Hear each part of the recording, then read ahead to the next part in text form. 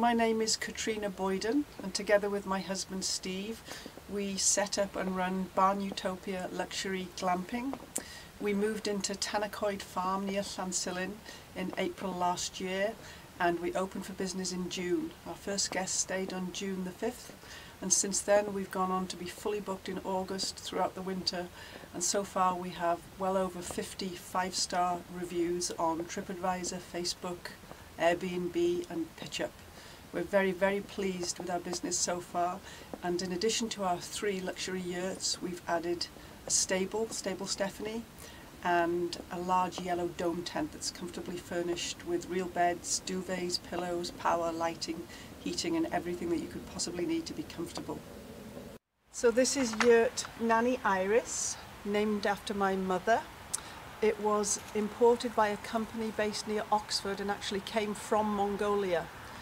When we first got them in May, we didn't know how we were going to erect them and the first one took us eight hours, the second one took us four hours and the last one, in fact our largest yurt, took us two hours to completely assemble. Of course we then furnished them with real beds and power and lighting and so on and so forth and so far um, feedback has been uniformly positive from guests.